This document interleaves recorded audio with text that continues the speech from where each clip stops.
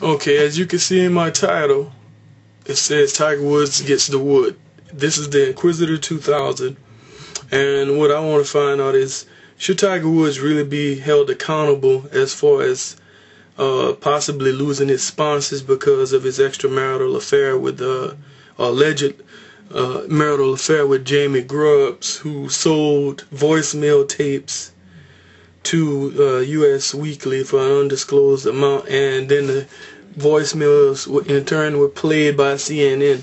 I mean, this is where the world is coming to that we worried about uh, per people's personal lives and stuff. And well, that's just my opinion. What do you think? Should he lose all the stuff he has worked for for an affair, or should we just let his wife worry about this his extramarital affairs? Because that's that's a personal issue, but it's been made public because this this girl sold these voicemail tapes. All right. Well, anyway, just uh, uh you know, comment, rate, subscribe, leave a video response to it. Let me know what you think. The Inquisitor is done. See you in the next vid.